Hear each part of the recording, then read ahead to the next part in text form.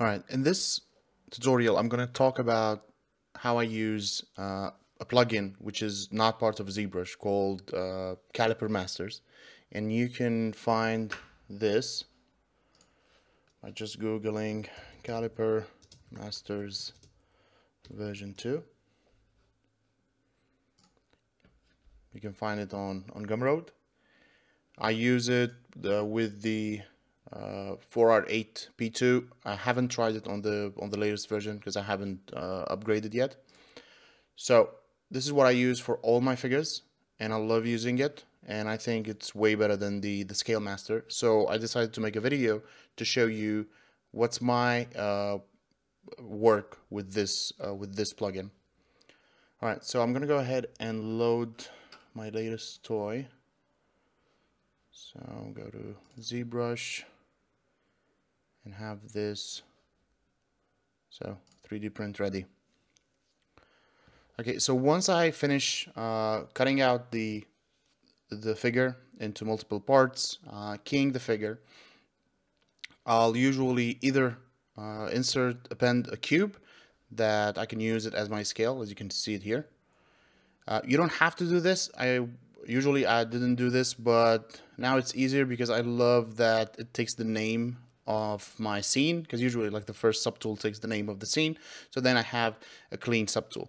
And also at the same time uh, if I want something to be perfect in scale I have to select the point above the ear and usually you you fail to do that. So what I do is I create a box which holds the entire figure in and I'll use that for my scale. But you don't have to you don't have to do that so here's how Caliper Masters work.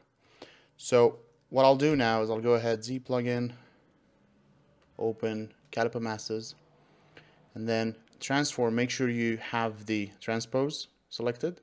And what you do is you click on top and set, set caliper point. Then make sure you have a constraint Y because this is what I'm using now but you can constrain to Z or to X so you don't have to constrain if you don't need that but just to make sure it's going to draw like a straight line you constrain to that uh, axis okay? So then I'll click again on the bottom set caliper point right? So that's my scale. So now I'll go in and I'll tell it well I want this figure to be I don't know uh, seven inches right? So I'll do custom inch right? So if I do display measurement it's going to show me this is 6.9999568 inch all right but and now the figure is ready. So I can go ahead and I can go to export with shrinkage. I can export either all, visible, or you can export each each subtool on its own, right? But it's not that's not even the best part about it. The best part about it is I can save the scale. So I can go ahead and I can save uh, in a new folder and call this calipers uh, 7 inches. Okay. And inside I can do a caliper units of 7 inches and save. So let's say if I want to try this as a 5 inches, what I need to do is just select that, go restore original scale, and then type in 5 inches, custom inch, right? So now if I do display measurement, see?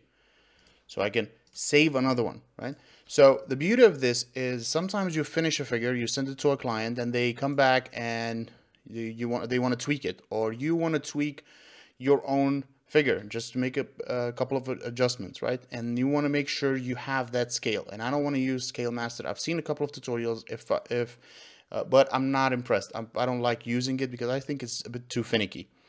With the calipers, I can save, and when I load them back, I have an exact, uh, you know, scale for my, my figure.